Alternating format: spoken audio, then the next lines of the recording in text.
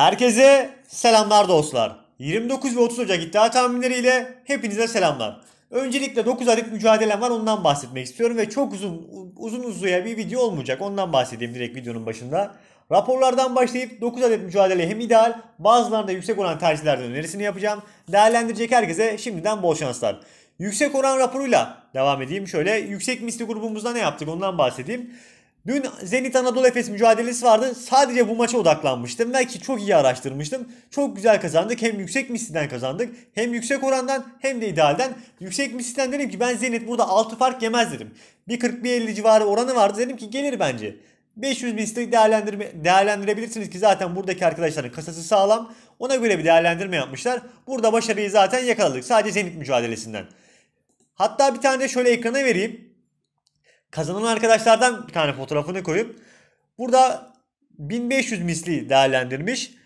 1500 liraya 1980 TL gibi bir miktar almış zaten. Ben buraya üstünü kapatarak değerlendirdim ki zaten bana WhatsApp'tan attı. Gerçekten güveniyordum ki zaten son 2 lirada kazanıyoruz yüksek mislide. Güvende, güvenmediğim veya yüksek girilmemesi gereken bir mücadeleyi vermem ki bugün de verdim. Bakalım ne olacak. Değerlendirdik onu da.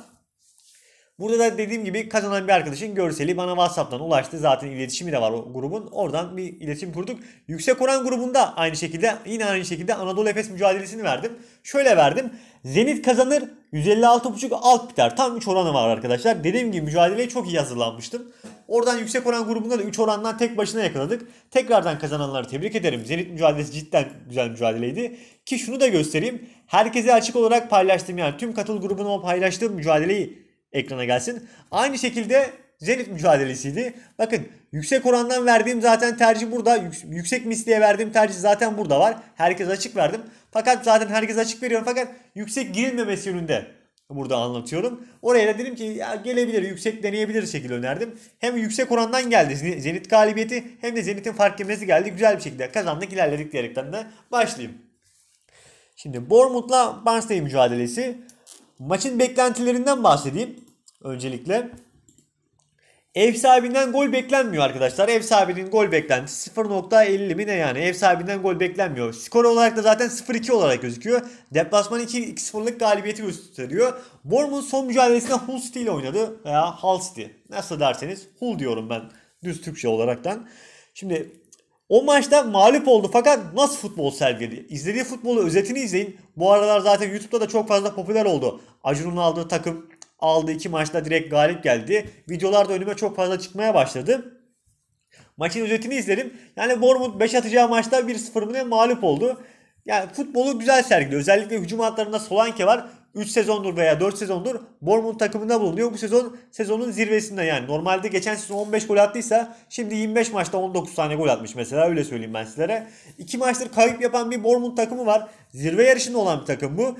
Birinciliğe ikinciliğe oynayan takım ben burada hata yapacağını düşünmüyorum. Direkt maç sonu 2-1-55 gibi orandan sizlere öneriyorum. İdealdir direkt taraf galibiyetine bence riske atılabilecek bir oran. Değerlendireceklere bol şanslar. Fulham Blackpool mücadelesi. Fulham'ın son mücadelesini değerlendirmiştik. Güzel 1.68 gibi orandan deplasman 1.5 üstü olarak değerlendirmiştik. 3-2 gibi skorla kazandı. Yine kazandı. Yani ondan önceki maçlarda zaten 6-2, 6-2 ve 7-0'lık bitti. Yine nasıl gideriz diye baktım ben. Nasıl bir tercih yaparız diye. Ben bu mücadeleye çok fazla yüklenme olduğunu gördüm. Olur mu olmaz mı bilmiyorum. Biraz ters, ters tercih yapacağım. Maçın skor beklentisini söyleyeyim. 3-0'lık bir Fulham galibiyeti bekleniyor. Onu da belirteyim. Ben biraz iddiacılar bu maça yükleneceği için ters bir tercih yapayım dedim. Şöyle yaptım. Fulham yine kazanır fakat 4.5 altında kazanır diye düşünüyorum. 1.44'te oranı var. Zaten son maçları sürekli çok gollü geçiyor.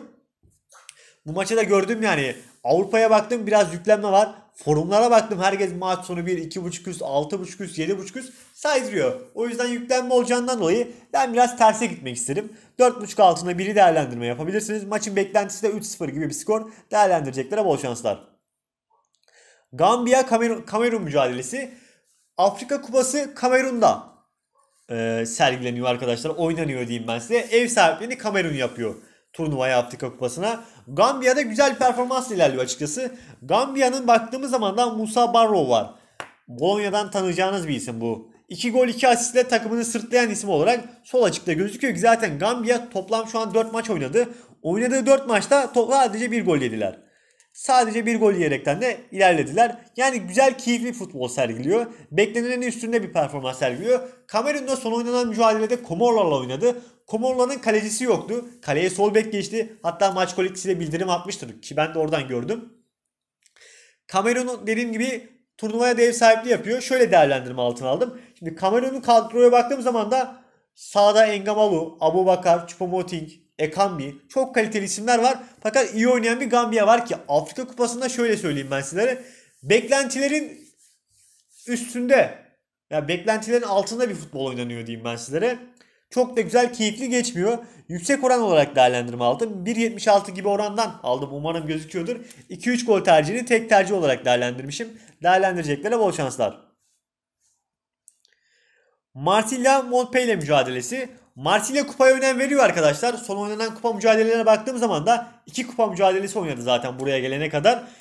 Rakiplerinden çok çok kaliteli bir takım. Marsilya oynadıkları mücadelelerde ve yine aynı şekilde ideal 11'ini çıkarmış. Bu maçta San Paulo'da teknik e, tribünde olacak. Takımın başında olmayacak. Bazı eksikler var fakat kupaya önem veren bir Marsilya var olarak not almışım. Montpellier takımı çok güzel bir ofansif bir takım. Ondan bahsedeyim. Son mücadelesinde Savanier yoktu. Orta sahanın en, üre, en üretken ismi ofansif orta saha olarak geçiyor. Üretkenlikte çok fazla hem gol yollarında hem de oyun kurmada, hücuma çıkarmada iyi çıkaran bir tek e, futbolcu olduğunu belirteyim. Onun dışında son mücadelesini zaten değerlendirmiştik. Hatırlayanlar var, KG var olarak değerlendirdik. Bu maçta da bence ofans oynayacaktır. İdeal bir kadro çıkacaktır. 1.38'den ben burada Marsilya'ya atlayacağım ama 1.80 gibi orandan burada KG var alırım. Maçın beklentisini söyleyeyim. 2-1 veya 1-1 gibi skor bekliyorum. Direkt 1.80'den KG var değerlendirmesi yapılabilir. Bahçeşehir Koleji Galatasaray mücadelesi. Galatasaray'ın son mücadelesi erten, ertelendi. Daha dinlenen bir Galatasaray takımı var. Bahçeşehir'de FIBA Avrupa Kupası için İngiltere'ye gitti. Yolculuğu biraz sıkıntılı geçmiş sanırım. Biraz araştırdım ben de Bahçeşehir takımını. Şimdi zor bir maç. İddia zaten çok fazla bir tercih açmamış. Ya üst oyna demiş. Tek barem açmış. Ya da sadece taraf galibiyeti aç demiş. Ben burada Galatasaray'ın tarafındayım. Direkt Master 2 olarak değerlendirme altına aldım. Galatasaray dış atışlarda Galatasaray Nef takımı bu sezon beklentilerin üstünde bir performans sergiliyor. Yaptıkları transferler gerçekten bu sezon can yaktı. Dış atışlarda özellikle çok güzel bir üçlük yüzdesi var Galatasaray takımının. Burada direkt yorgun olan Bahçeşehir'e karşı dinlenen bir Galatasaray takımı var. Direkt maç sonu 2 basketbol mücadelesidir. Değerlendirme altına alabilirsiniz diyerekten de geçeyim. 30'unun tercihlerine baktığımız zaman da 4 tane mücadele var. Gent Antwerp, Antwerp mücadelesiyle başlayalım. Antwerp son mücadelesinde berabere kaldı. 1-1 gibi berabere kaldı fakat iyi oynayan takım Antwerp takımıydı. Pardon bir saniye. Gent takımına baktığımız zaman Ostende ile beraber kaldı. Orada bir dilim sürçtü kusura bakmayın.